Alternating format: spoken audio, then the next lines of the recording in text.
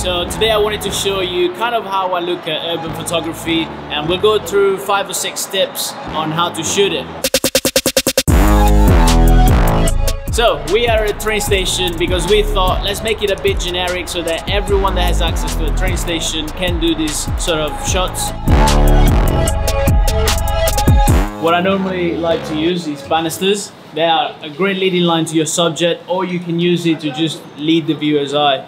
So what I'm going to use today is a 16 to 35. I normally like to shoot these a bit wider but because the 12 to 24 is very expensive and I know not many people have it, I'm just gonna do it on a 16. Right, just setting up the shot now and because it's quite dark, I'm having to push the ISO quite a bit. So I'm at ISO 2000, f-stop, I'm putting it at f4. In terms of aperture, I don't want it to be too shallow. So I'm shooting it at f4. So more of the frame is gonna be in focus. Because if you shoot it at 2.8 or 1.4, you're just gonna have a very thin line in focus and the rest of it is kind of gonna be blurry. So you don't want that. And in terms of shutter speed, because we have a still subject and not much in the frame is moving, actually nothing in the frame is moving, we're shooting it at 1 60th of a second, which is gonna do for what we want. If you were shooting something moving, you probably want it faster, probably 250, 300. But because we're going everything still, 60 will do.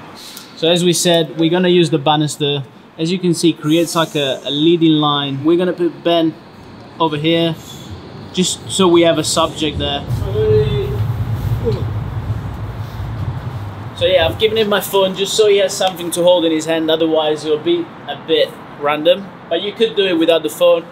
Maybe tell him to, maybe tell your subject to turn on the torch and maybe put it to the ear. Also what you could do is put your phone on a white screen so that it lights up the subject's face a lot better and it'll look a lot cooler in the picture.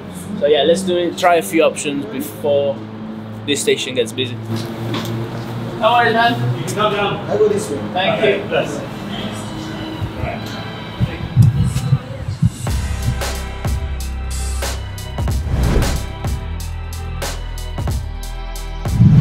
so we're gonna do the second option now. The torch is on on the phone and we're just gonna have it to the ear so it might create a cool effect.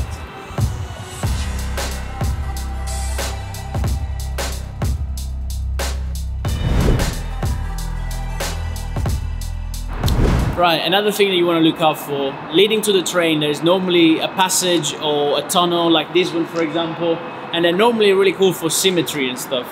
So what I normally like to do is shooting on a wide angle lens. When you put a subject in the middle, that subject is going to be very small. As in, if you shoot it on a 35, on a 50, the subject is going to be a lot bigger and it's just not going to have the same effect. So I recommend to shoot at 16 or below just to capture the architecture because you're going to get a lot more into the frame. Another thing is don't get stuck on just the middle. See, there is so much more going on here. There is like reflections on the side because of the material.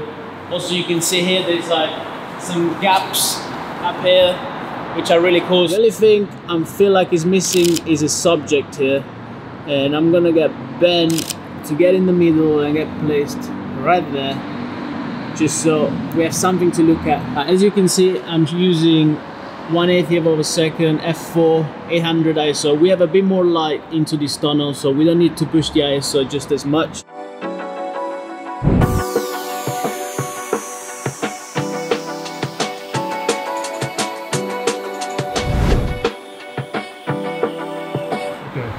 Right, there is one last tip that I think is obviously, well, it's probably the most obvious tip, but long exposures with trains always work. What we're gonna do also, we're gonna fake so that like, say you out and about on your own.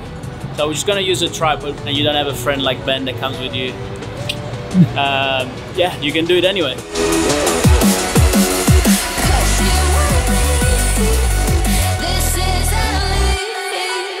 We're gonna frame it up, wait for the next train. I really like the frame where you see the platform number, the train, and this leading line of the lights. And then obviously we're gonna have me in the middle there and the blurry train. Do you know how to set up a tripod? Not this one, mate. Not mine. That's a brand new one. Yeah, I can tell. Stiff. Never been used before.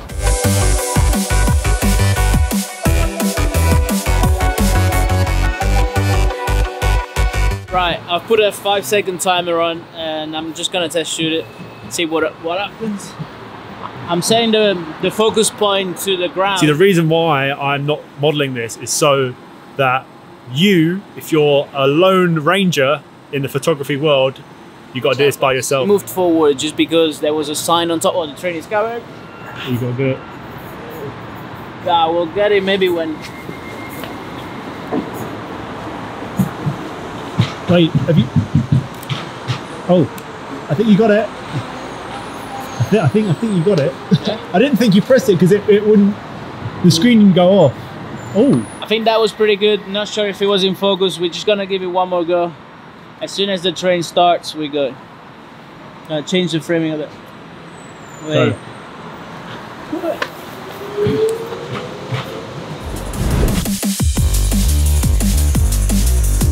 Because we got the front of the train.